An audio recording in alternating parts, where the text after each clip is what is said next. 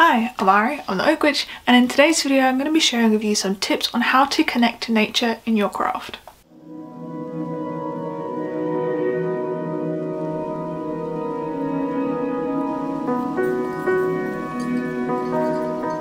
For a lot of witches, especially those who are more centered in a folk magic tradition, connecting with the land, your local earth, is something that is really important. Being in tune with the shape of the landscape and the seasonal rhythms is something which is really important to us. And it can be quite hard to stay connected to this, you know, just with the ongoings of everyday life with school, work or college, relationships, obstacles, things that just come up in everyday life. So I wanted to share with you some really simple tips to help you strengthen that bond with nature. So the first tip is get a plant identifier app.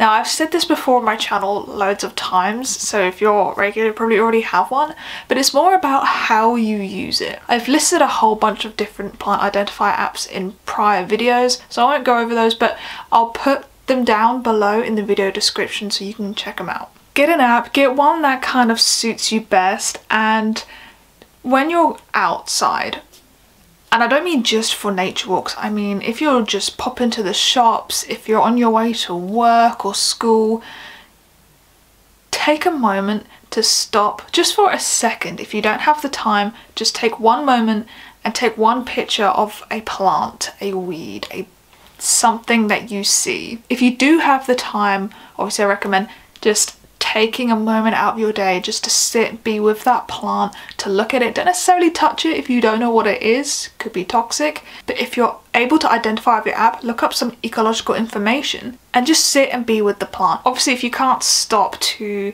take a few seconds out of your walk if you're in a rush, just take a picture and then go about your day. And then later on when you have some time, use the app and try and find out what the plant is. And the idea here is to do some research. What is the plant's name? What are some folk names? How is it usually cultivated? Is it native to the area?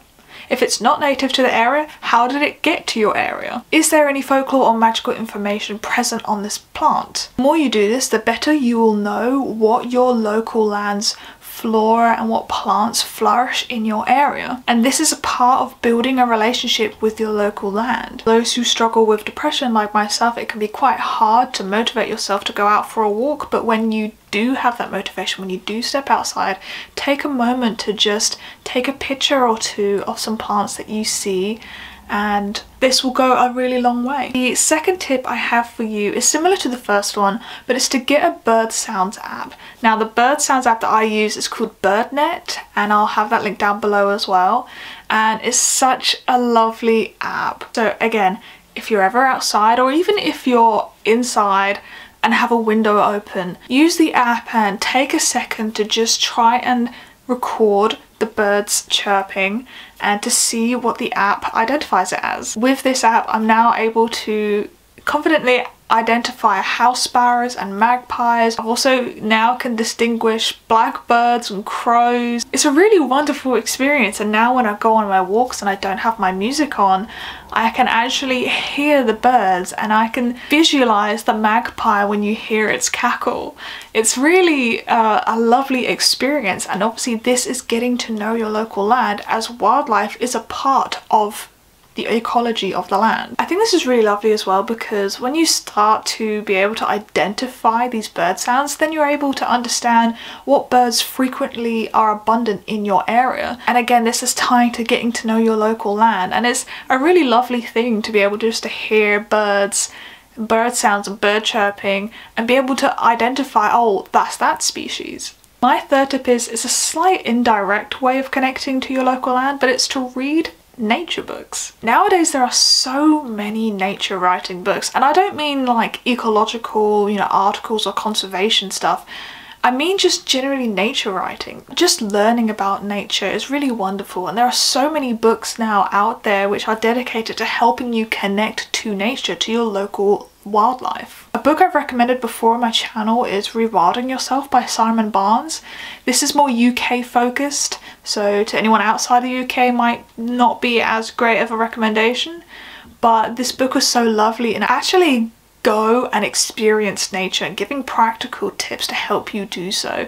It's a really inspiring book, so I recommend that one for anyone who's in the UK. If you're in the US, I do really recommend Braiding Sweetgrass by Robin Wall Kimmerer. This is a really beautiful book. This book is really lovely as it's written by a Native American who talks about her experiences as such and being a botanist, so there's a lot of intersection between ecology and Native American spirituality, and it's a really important book, I think, if you do live in America, and it's a perspective that you might not have had taught to you before. So I do recommend that if you're interested. But yeah, just go to your Waterstones, Barnes & Noble, your local bookstore, go to the nature section and you'll see tons of nature fiction books, natural history and just general nature writing. Tip number four is a bit of a obvious one, but I guess it's to have houseplants. Now, I think a lot of people are put off with houseplants because a lot of us don't really know how to take care of them properly,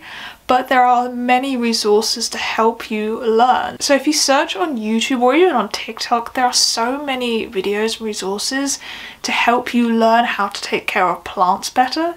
And there's even tips for what plants to get if you just completely like don't know how to take care of plants and plants that are essentially really hard to kill. Another really great experience is having your own herb plants and you can either grow these yourself from seed which is fairly easy to do or at least here in the supermarkets you can actually just get a full grown plant just already grown um, and you can just take care of those and obviously you can use those herbs in your magical practice. If you already have houseplants, do some research. Where are they native to? What ecosystems would they exist in? How have they been used in magic? And if you can't find any correspondences, I made a video all about how to build your own correspondences which you can check out there, I think. and tip number five is to have a land spirits altar. Now, working with land spirits doesn't have to be this massive spirit conjuration hoo-ha, which is great, I'm not trying to degrade that. But I think spirit work can seem like a little bit of a scary word.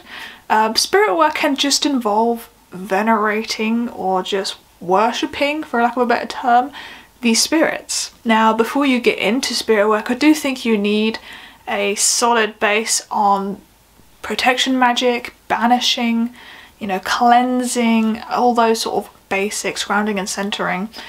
It's good to have those basics down just in case. Those types of magic are always good to sort of have a base knowledge on before you step into more advanced and intermediate stuff but spirit work I think as a practice you know when you're just giving offerings to spirits or venerating them. I think anybody can have that as a part of their practice. But yeah, so having a land spirits altar, one that is just dedicated to your local land spirits, I think is a really nice way to connect to nature and I guess I can show you mine as an example. So just as a little insight into my current practice, here is my land spirits altar. I have a green man statue slash candle holder as this is this is to me this is my UPG but he is the face of the land and hence he's closely related to land spirits in some form or another. So this is not something which I would say is fact about the green man but this is just my experience of connecting to nature and nature spirits so other than that, I have little votive offerings laid on the altar, which I've personally gathered from the land as representations of the spirits in which I'm venerating. I give weekly fresh water offerings, and I also give offerings in form of prayer. Now, a book I recommend for this is The Big Book of Pagan Prayer and Ritual by Seswa Serith? I'm probably pronouncing that horribly wrong. I'm so sorry. Um, but this is a really, really good book. I think it's really lovely in that it includes loads of different types of spells for different deities across cultures and I think it's done in a really respectful way as well. There's a lot of prayers in here um, but some of which don't just include deity names to specific deities but to include different types of spirits like nature spirits and stuff. So I think that's really lovely. But one prayer I love saying which I will read. So this prayer is listed under the chapter Civic Prayers to Land Spirits. And it reads Spirits of plants and animals, of water and stone, all the spirits of this land, our ancestors weren't kind to your ancestors when they came to this land. Today, hear our words, taste our offerings, so we might begin a new relationship with you, a, a few small steps on the road to trust. There are so many different prayers now, it's just one example, but it was one that's really nice and I like borrowing and giving as an offering to these land spirits. And this in itself is a way to connect with your local land and especially even the act of going out and respectfully gathering some you know, bits of nature just to put on the altar in itself is a nice way to bond with your local land. So yeah, those are some five simple tips. I wanted to keep this video short and sweet, so I hope that you enjoyed these tips. I hope that they have inspired you in some way. Connecting with nature in your craft doesn't have to be this huge massive endeavour where you're taking trips to large forests and performing rituals in the woods like it doesn't need to be that elaborate it can be as simple as just identifying plants on your way to work or having bird sounds app recording chirping that you can hear outside your window. It can be really as simple and as trivial as that and it's still a massively valid way of connecting to your local wildlife. And something to add is connecting to your local land and building that relationship is something which is ongoing. It's a slow progression in this journey, so, so try not to feel disheartened if you don't feel connected to your local land on your first nature walk out these things take time for some people, especially as some people have busier lives than others. So yeah, anyway, I hope you enjoyed these tips and I'll see you in the next video. Bye!